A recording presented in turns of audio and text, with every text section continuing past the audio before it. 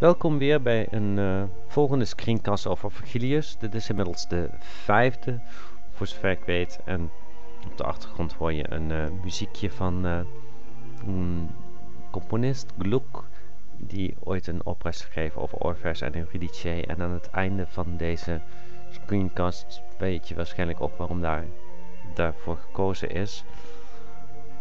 En je weet waarschijnlijk ook dat een deel van de Georgica van Virgilius ook tot het pensum hoort. En die heb je inmiddels gelezen.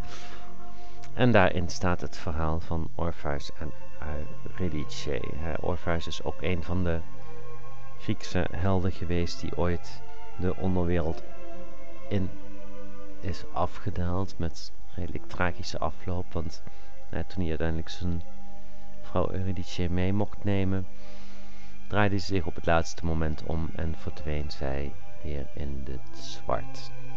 En hier zie je voor je een poster van een uitvoering van die opera in Utrecht een uh, aantal jaar geleden. Ik ga dit muziekje vreed verbreken. Ik pak de tekst bij me. Um, op het moment dat je in deze tekst hier aangeland bent, gaat Aeneas proberen de Sibylle ervan te overtuigen dat hij zijn vader moet zien. Dus dat Illum helemaal in het begin van deze tekst, dat slaat op Anchises, dus de vader van Aeneas. Illum is hier accusativus. Hem heb ik, eripui, heb ik gered door de vlammen en duizend volgende wapens. Sequentia is van een uh. En op deze schouders midden uit de vijand gehaald. Er zijn misschien mensen die vertaald hebben uit de middelste vijand, maar dan moet je je gaan afvragen van hoe stel je je een middelste vijand voor? Zijn er drie vijanden waar er eentje in het midden staat? Medio is typisch zo'n woord wat je kunt vertalen met midden uit de vijand. Het hoeft niet gelijk de middelste vijand te zijn. En dit ille hier aan het begin slaat wederom op Anchises. Meum hoort bij iter en comitatus pak ik daar gelijk bij. Mijn reis, meum iter, comitatus, vergezellend, pak ik het werkwoord verebat, verdroeg ille, hij, Maria omnia, alle zeeën, meekom met mij. Kom staat bij dit soort persoonlijke voornaamwoorden vaak achter het woordje en zit er aan vast. Dus laat je daardoor niet misleiden. Meekom, tekum zou zijn met jou, secum met hem, nobiscum met ons. Staat er vaak aan vast. En, hè, en hij verdroeg nog meer en hij verdroeg omnis mina's, alle bedreigingen. Hier staat eigenlijk omnees, heb ik je in een vroegere screencast al uitgelegd. Van de zee, dat is dat Homerische woord voor zee, en de hemel. Heb ik nog één stukje over, invalidus. Oh.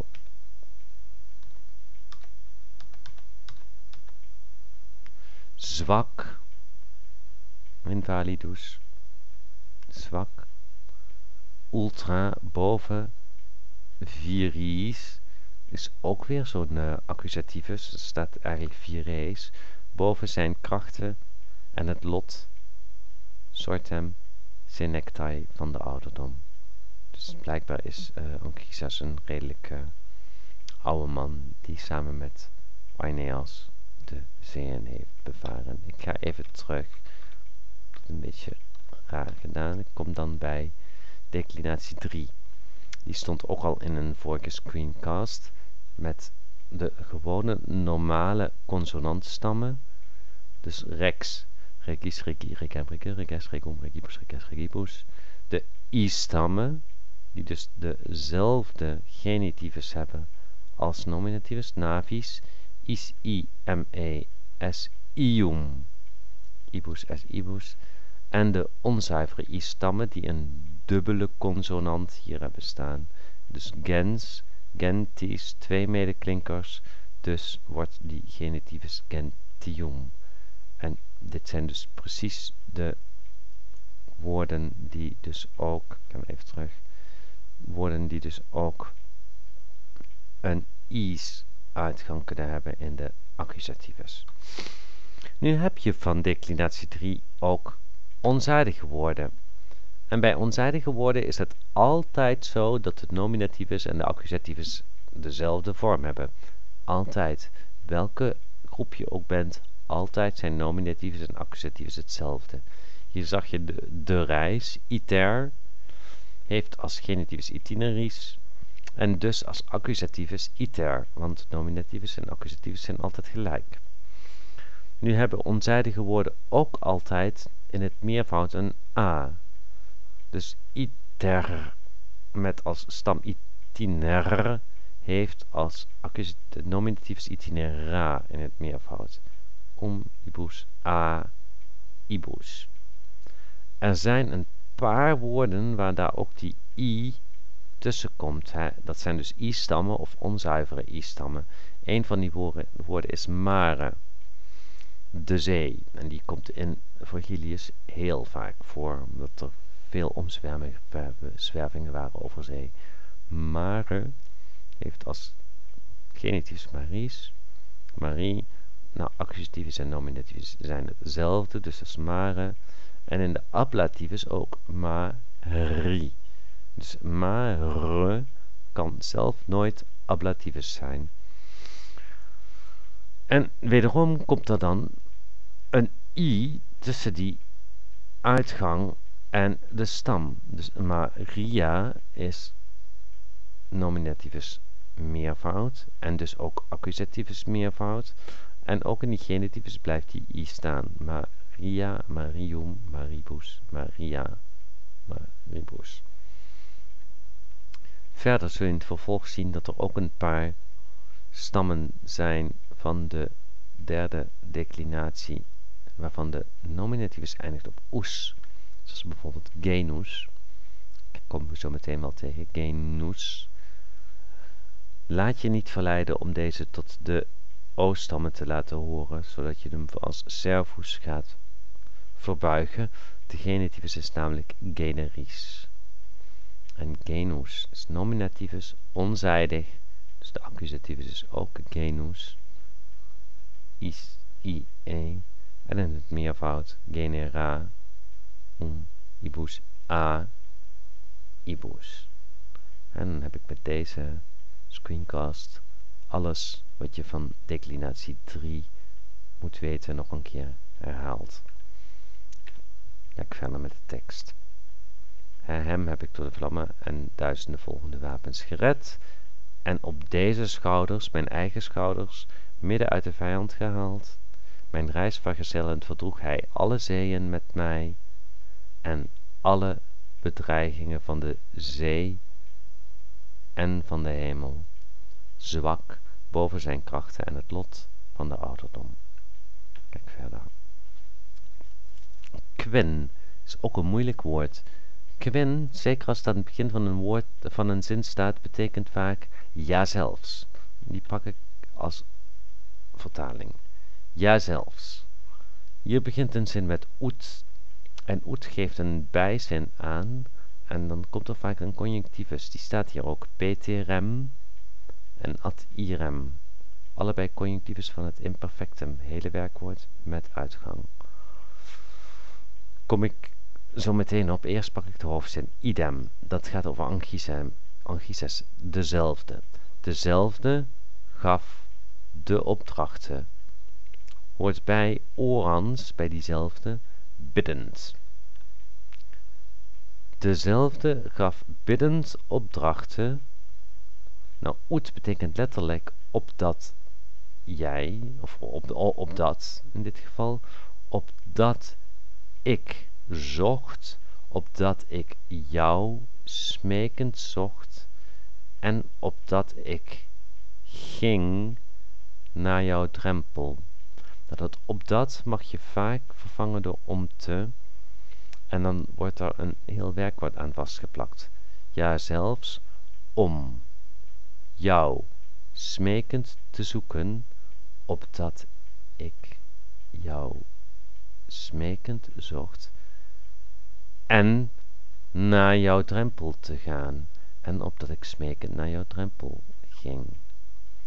Dit had ik te gaan had eigenlijk groot moeten, maar goed, dat zie ik nu pas. Gaf dezelfde de opdrachten. Met andere woorden, Anchises heeft hier tegen Aeneas gezegd van, je moet naar de Sibylle gaan. Kijk verder. Alma is een vocativus, heb ik ook al eens eerder uitgelegd. Eerbiedwaardige. Eerbiedwaardige. Precor. Ik bid je, voel ik aan. Ik bid je, dat is een deponens, kom ik later nog wel eens een keer op terug. Ik bid je, misereren, heb medelijden. En misereren gaat dan in het klassiek Latijn met een genitivus gnati patrisque. Met vader en zoon. Vader is die patris en zoon is gnati. Heb medelijden met vader en zoon. Dat misereren dat lijkt misschien een infinitivus, maar dat is een imperativus. Nu heb ik je eerder al uitgelegd van hoe zo'n imperativus in elkaar zit. Normaal gesproken heb je de stam en in meervoud eventueel met te. Dus obdurare wordt obdura of obdurate. En eventueel archaïsche uitgangen, memento, mementote stond in het vorige stuk. Maar bij deponentia, zoals bijvoorbeeld misereri, geldt iets anders. Dit heb ik, hier heb ik het werkwoord misereri. Ik zoek in het woordenboek op miserior. En bij de medeklinkerstam sequi. Ik zoek op sequor. En dan lijkt mijn imperativus heel erg op een infinitivus van een gewoon werkwoord. Want ik pak de stam en ik heb de uitgang re miserere. En hier ook zequere. Dus eetje ertussen, re erachter. Het lijkt op een infinitivus, maar je vindt dat werkwoord niet actief. Je vindt hem alleen maar als passieve vorm en dus is dit een imperativus. Een meervoud is niet zo moeilijk, want dan heb je de uitgang mini. En de uitgang mini herken je misschien nog wel eens een passieve uitgang. Misschien niet meteen als een uh, imperativus, maar je weet dan in ieder geval wel van het komt van miserere of van een sequimini, van sequi. Maar misereren is lastig, want het lijkt op een gewone infinitivus. Dus zoek hierbij even, is het een deponens, een passief werkwoord of niet? Ga ik verder. Ja, zelfs om jou smekend te zoeken en naar jouw drempel te gaan, gaf dezelfde opdracht. Eerbiedwaardige, ik bid je, misereren, heb medelijden met vader en zoon. Pak ik het tussenzinnetje, het uh, zinnetje tussen de haakjes. Potes komt van possen. Jij kunt. Jij kunt namelijk alles. Jij bent overal toe in staat. En praefecit is aan het hoofd stellen. Is hier perfectum, je aan die e. Praeficere is het normale werkwoord. Praefecit is dus perfectum. Stelde aan het hoofd. Daar wordt bij als onderwerp Hecate, de godin van de tovenarij. En pak ik bij nek nequiquam. Niet vergeefs stelde Hecate jou, dat is accusativus, t, jou aan het hoofd van het Avernische bos. En dan komen er nog twee si-zinnetjes achter. In eerste instantie si, orpheus, potuit, acessere, manis, conjugis, als, orpheus, de schimmen, want hier heb ik weer een accusativus meervoud, die eigenlijk ees zou moeten zijn, si, potuit manis, lange i. Dus het staat letterlijk schimmen van zijn vrouw, van zijn conjungs, van je, zijn vrouw kon laten komen. Als Orpheus de schim van zijn vrouw kon laten komen, kon laten opwekken uit de onderwereld. Vreethus, vertrouwend, dat wordt bij